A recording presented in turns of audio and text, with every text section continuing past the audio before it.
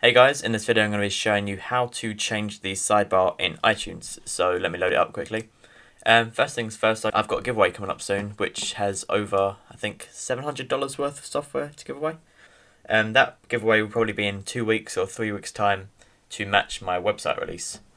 Um, but anyway, going on, what this basically does, this video, will show you how to change the, like the library, store, shared and genius, etc.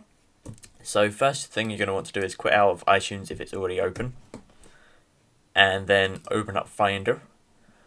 Uh, let me close that. Finder. Then you want to go to Applications and then scroll down to iTunes. Right click it and click Show Package Contents. Scroll down till you see Resources once you've opened up the contents. Then um, English.lproj and then scroll down till you see localizable.strings. Um, you will need a text editor for this, meaning um, something like TextMate if you've got it. You can just download the free trial, which I've just done, or you can go online and download TextWrangler, which is free, and that's a text editor for you. So I'm going to open it up in TextMate. And then you'll want to you're going to want to scroll down to 135.011 when it's open. 135. So just click um oh sorry.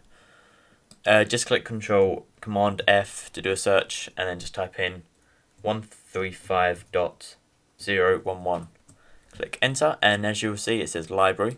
So I'm going to change that to um, just get rid of the caps. Just change it to lowercase. So that'd be Devices. You can change it to anything you want though, guys. So, swap to you. Playlists. And Genius. Once you, oh, hang on. Once you've done that, you can go on and click Save or Command S. And then you can quit out.